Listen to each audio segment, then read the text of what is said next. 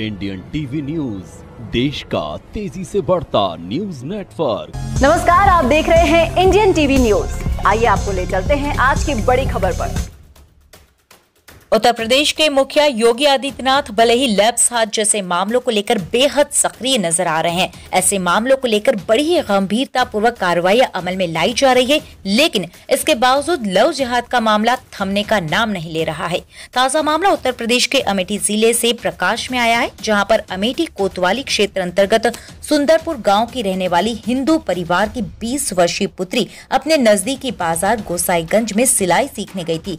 तभी गाँव के ही एक लड़के के द्वारा लड़की को बहला फुसलाकर भगा ले जाया गया। ये घटना 25 दिसंबर 2023 की है। जैसे इस बात की सूचना घर वालों को लगी घर वालों ने तत्काल मुस्लिम पर युवक के घर जाकर अपनी लड़की को वापस देने की बात कही, जिस पर युवक के घर वालों द्वारा लड़की के परिजनों से कहासुनी हो गई और मुस्लिम परिवार द्वारा इस हिंदू परिवार को जान से मारने की धमकी दी जाने लगी। यही नहीं, आरोप तो यह तक लगा है कि मुस्लिम परिवार के द्वारा इस हिंदू परिवार की लड़की को इस्लाम धर्म कबूल करने का भी दबाव बनाया जा रहा है। और ये भी धमकी दी गई कि अगर तुम लोग इस बात को पुलिस प्रशासन में ले गए तो तुम्हारी लड़की की लाश मिलेगी। हालाँकि लड़की के पिता ने तत्काल इस पूरे मामले की सूचना पुलिस को दी और तहरीर देते हुए कार्रवाई करने की मांग की है। पुलिस ने परिजनों की तहरीर पर अपहरण की धारा तीन के तहत मुकदमा दर्ज कर लिया। लगभग 10 दिन होने को है, अभी तक हिंदू लड़की का न तो कोई अता पता चला है।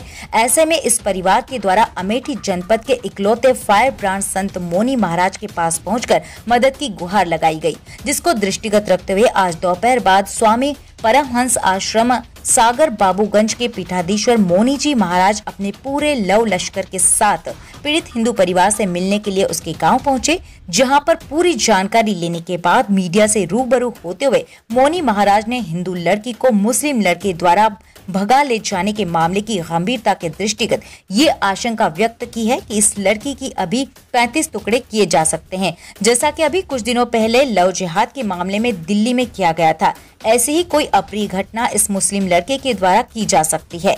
ऐसे में मोनी महाराज ने अमेठी पुलिस प्रशासन को आड़े हाथों लेते हुए धरने पर बैठने की बात कही और कहा कि जब तक पुलिस प्रशासन कोई ठोस कार्रवाई अमल में नहीं लाती है, तब तक हम धरने से नहीं उठेंगे। इस धरने में अमेठी जनपद ही नहीं, बल्कि आसपास जनपदों से भी लोग धीरे धीरे आना शुरू हो गए हैं और विशाल धरना प्रदर्शन होगा। या तो पुलिस प्रशासन शीघ्र ही हिंदू लड़की को ट्रेस कर तत्काल बरामद हुए परिजनों को सुपुर्द करे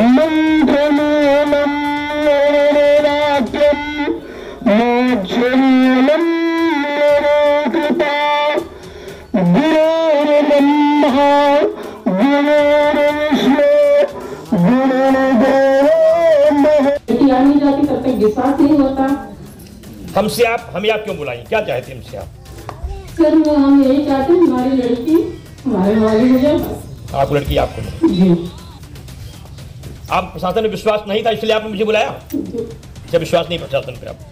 ठीक अब बैठ परिवार को न्याय मिलना चाहिए। मैं माननीय मीडिया के प्रसाद उपस्थित समस्त पत्रकार बंधुओं से भी चाहूँगा कि एक नारी जब सहायता मांगने लगे तो उसकी रक्षा करना हम सबका धर्म है। यह मेरी बेटी की तरह है मेरे सामने रो रही है। इसकी एकमात्र इच्छा है इसकी बेटी इसे दी जाए। आप इस माता जी क्या घटना हुई है? आपके यहाँ जो आज मौनी जी महाराज आए थे और क्या आश्वासन मिला जो है उनके द्वारा? क्या हुआ है? क्या है पूरा मामला? मेरी लड़की सिलाई सेंटर पर गई थी। वहाँ से एक तौफीन सौफीन नाम का लड़का वहाँ से अपहरण किया है। और उसके बाद मुझे विश्वास कब तक नहीं मिलता जब तक मेरी लड़की मिल नहीं जाती। जब मेरी मेरी लड़की मेरे सामने आ जाएगी तभी मैं मुझे विश्वास है। कितने महीना हुआ? महीने नहीं हुए आठ दस दिन हो गया सर लड़का कहाँ का है? लड़का मेरे गाँव का मुसलमान है। अच्छा। जी।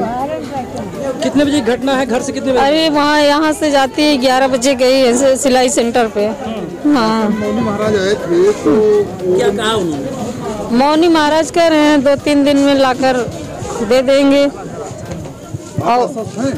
अस्वस्थ हैं लेकिन प्रशासन आज चार दिन से मतलब बता रही है लोकेशन यहाँ बता रहा है वहाँ बता रहा है। पुलिस के द्वारा कोई मदद की नहीं जा रही मदद मैं रोज जाती हूँ थाने पे दो बार तीन बार चार बार रोज जाती हूँ। यही कह रहे हैं लोकेशन लुधियाना जलंधर पंजाब अमृतसर यही मतलब बता रहे हैं। पर पास कुछ मोबाइल वोबाइल था पहले से? भैया मैं मोबाइल इस उपस्थित समुदाय की है जो यहाँ उपस्थित है। उन नौजवानों की है। उन बुज़ुर्गों की है और इस पीड़ित बेटियों की है जिनकी आँखों में आँसू भरे जो माताएँ मेरे सामने बैठी इनकी ज़िम्मेदारी कौन उठाएगा? अगर हम नहीं उठा सकते हैं, वो जीने का अधिकार नहीं है एक संत को आपके नाम लेना पड़े। और या कहने के लिए कि आप बेटी चली गई, आप सो रहे हो। पीड़ित परिवार मुझसे परिचित नहीं था।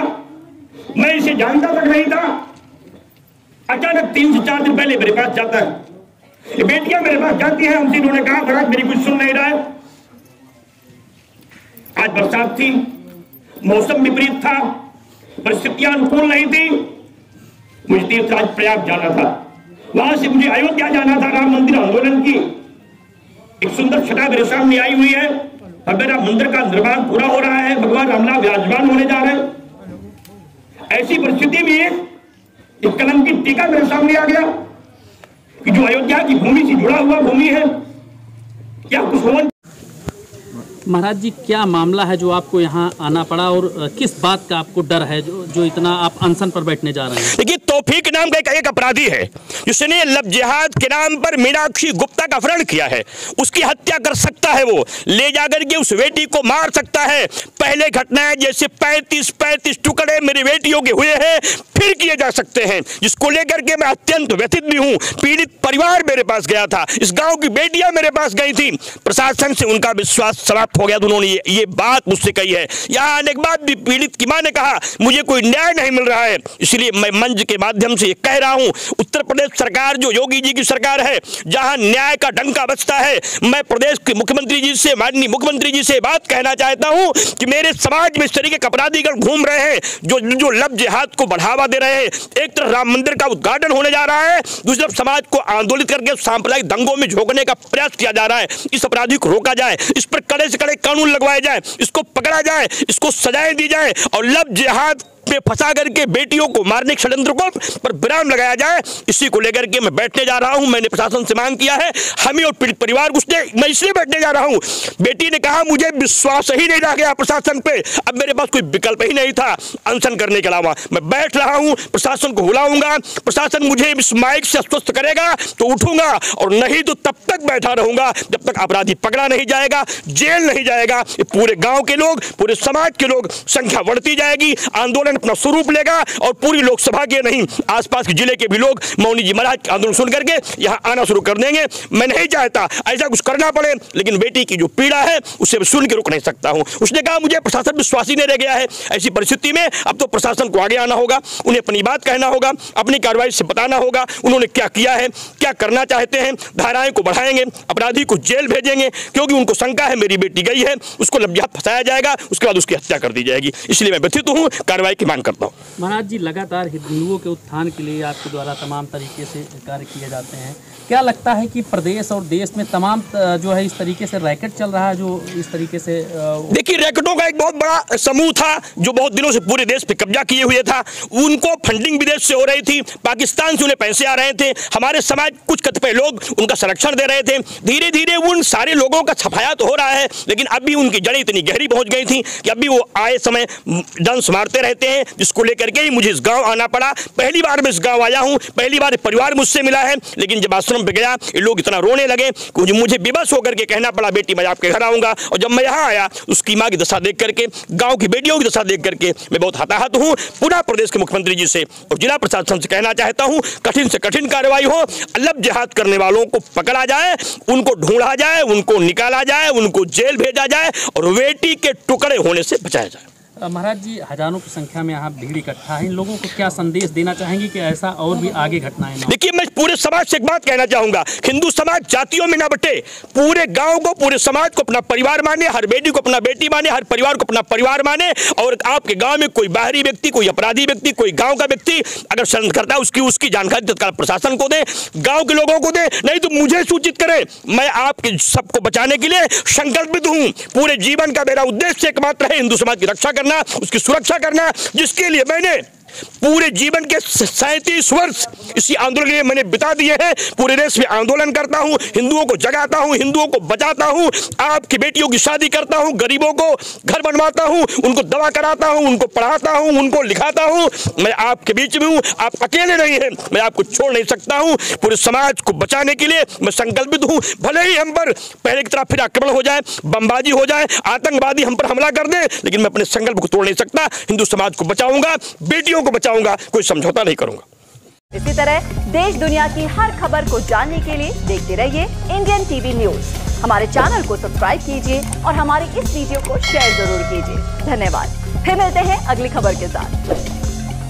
इंडियन टीवी न्यूज़ देश का तेज़ी से बढ़ता न्यूज़ नेटवर्क।